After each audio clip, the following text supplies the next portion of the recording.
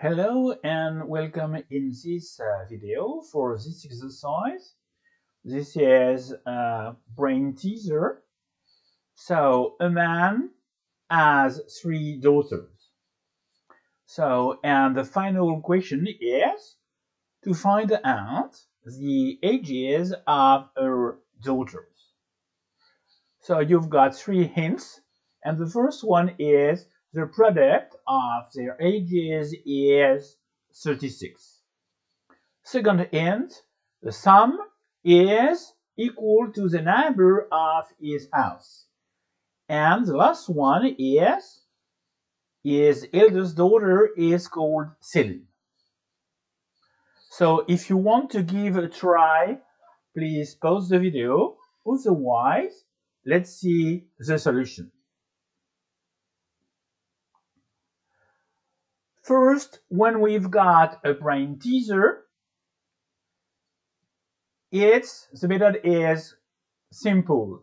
We are going to look for the text sentence by sentence and we are going to translate one sentence, which is in English, into mathematics. Let's begin with the first sentence.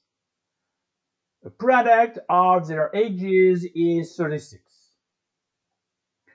So, in this table, D1 is the age of the first daughter, D2 the age of the second daughter, and D3 is the age of the third daughter.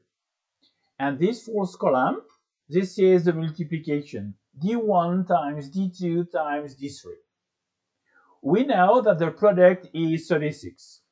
So in fact, we end up with eight combinations. Could be 1, 1, 36, 1 to 18, and so on and so forth. So, so far, with the first sentence, with the first hint, we've got eight possible solutions. Let's see the second sentence. The sum is equal to the number of his house. Well, we don't know the number of his house. Let's do exactly the same. Let's calculate. Now, D1 plus D2 plus D3. We've got different numbers, except for these two combinations. So think about that. If you've got a third hint, okay, that means you cannot give the answer directly with two hints. That means this is one of these two combinations. So let's see the last hint his eldest daughter is called Celine. Well, the name has no influence on the result. Okay. Could be another name, but let's focus on that. Eldest daughter. There is one and a single eldest daughter. No twins. We've got two cases. First case, 1, 6, and 6.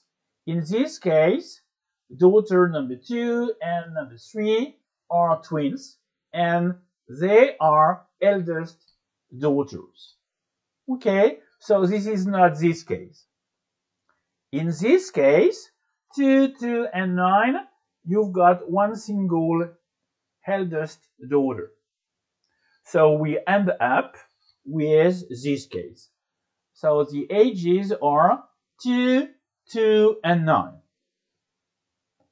Thanks for watching this video. Please don't hesitate to leave me a comment. And I see you in another video.